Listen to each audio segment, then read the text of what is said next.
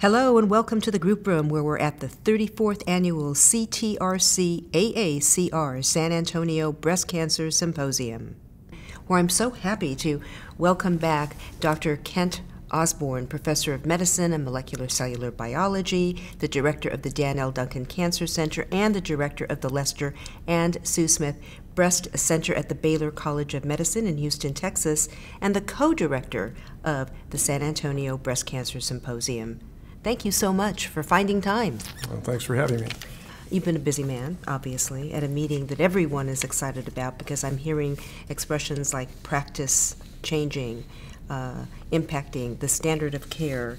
And you're going to talk to us about breast cancer treatment, a year in review as we reflect on last year's meeting to this year me, this year's meeting, and what really uh, matters most to you as the co-director of this year's conference. I think this has been um, one of the best, if not the best, meeting from the point of view of, of the exciting science and clinical trial results that have been presented. Um, I'd, I'd probably think about three or four areas, probably three stronger areas that will be practice changing.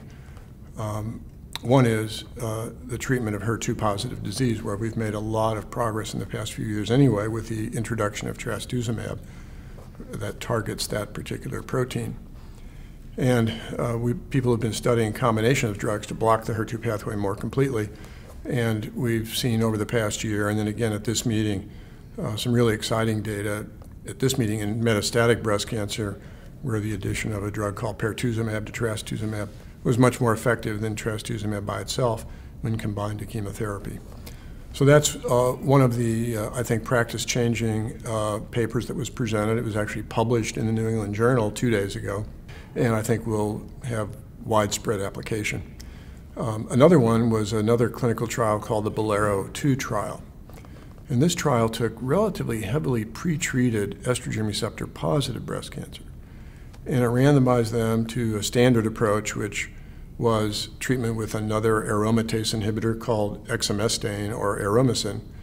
And then another group was got the same exemestane plus a new drug that blocks a growth factor pathway that we think is involved in resistance to endocrine therapy. And that drug was called everolimus. Hard to say it. And that uh, trial also showed pretty dramatic and sizable effects of adding the everolimus to this group of patients who had been treated with many, many different therapies. Another very exciting result, and I think a result that will also be practice changing in a subset of estrogen receptor positive breast cancer. And then we also uh, had a whole series, I think it was four, maybe five studies, looking at these bisphosphonates, or drugs that help to prevent breast cancer from tearing down the bone. And yes, we've sh shown a long time ago that it helps prevent tearing down the bone. And there are many fewer complications of bone metastasis in patients with breast cancer today than there was years ago when I first started in, say, uh, mid 70s. But a doctor here in San Antonio, actually, an endocrinologist who studied cancer in the bone by the name of Greg Mundy, who unfortunately passed away this past year, um, showed that when you have breast cancer in the bone and you treat with these drugs, which we call bisphosphonates, they're like Fosamax that you mm-hmm. can take for osteoporosis, um, that not only do you prevent the bone from being destroyed, but you also kill cancer cells. And that observation was made many years ago. And actually, a colleague of mine and, and I went to the drug company saying, let's look at this not only to keep the bone strong, but to help improve the outcome of patients. And it took years and years of negotiating and presenting more data. And finally, a series of trials have, has been completed now, looking at these drugs almost as you would look at adding chemotherapy to surgery in patients with breast cancer. And um, as I look at the data, and there are mixed results, but if you look, there's one consistent finding and that is people who are for sure postmenopausal by either medical means, where you can make them postmenopausal by using drugs that block the ovary, mm-hmm. or truly postmenopausal naturally, that means meaning uh, five or 10 years after the menopause, say 55 or 60 years of age. these drugs seem to work. And they work by reducing the risk of recurrence of breast cancer, not only in preventing osteoporosis and weak bones, but preventing recurrence of breast cancer, not only in the bone, but other organs as well. Sort of a difficult to explain observation. But I think many people now are going to be thinking seriously about using these drugs in postmenopausal women, in addition to their standard chemotherapy and hormone therapy um, for their disease. When we talk about uh, practice changing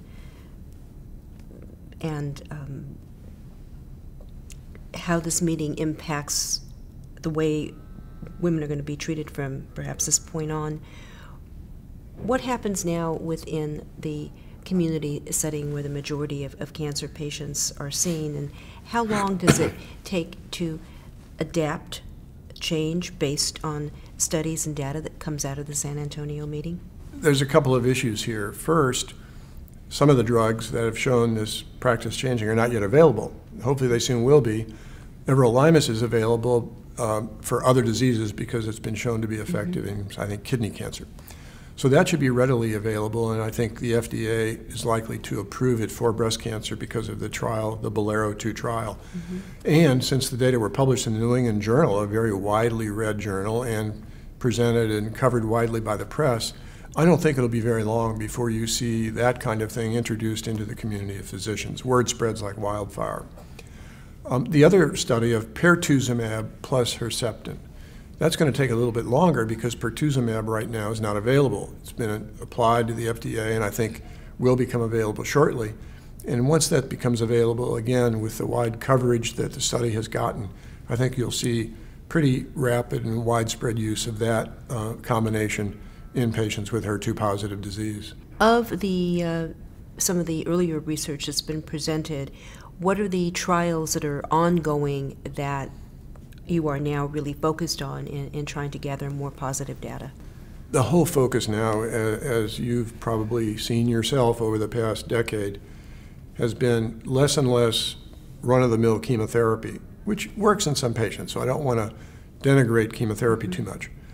But let's face it, it's relatively nonspecific. We're not picking out patients very well who will respond or who won't.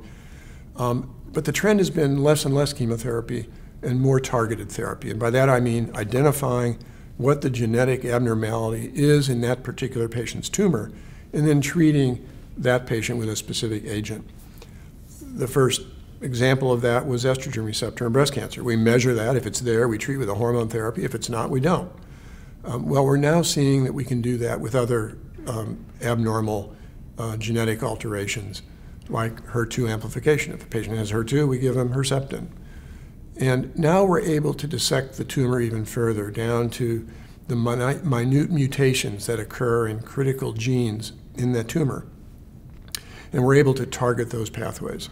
So I think that's the um, future of breast cancer and cancer research, so called personalized cancer medicine, where we identify the genomic abnormality and treat that patient specifically with a drug that blocks whatever pathway is driving that particular tumor. There were a few other interesting studies that, that came out that were not uh, so in the area of treatment, but there was the IOM uh, environment study. Again, a number of you know obesity and what you eat and, and, and starch and carbohydrates and, and, all of those. So you have this sprinkling uh, of, of other important information as it may impact breast cancer epidemiologically as well? Absolutely, and there, there's more and more data that what we eat and what we do affects our breast cancer incidence rates and other cancers as well. And, and um, the obesity epidemic is going to cause an increase in the risk of breast cancer and an increased rate of breast cancer. There's no question about it. It's been known for, I think, 40 years now that obesity was a risk factor for getting breast cancer. And that's been seen in every study. What's now been shown in several studies is that obesity is a risk factor for recurrence after you've had the diagnosis of breast cancer, or gaining weight after the diagnosis of breast cancer is an adverse factor.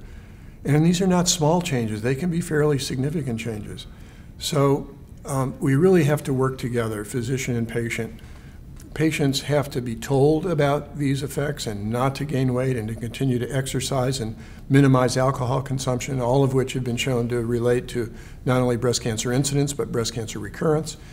And uh, physicians need to be knowledgeable about this and inform their patients about it and really work together to um, get over this hump of, of uh, um, metabolic syndrome, which is what doctors call this syndrome of obesity that affects all parts of our bodies, not only the cancer risk, but cardiovascular and, and other diseases as well.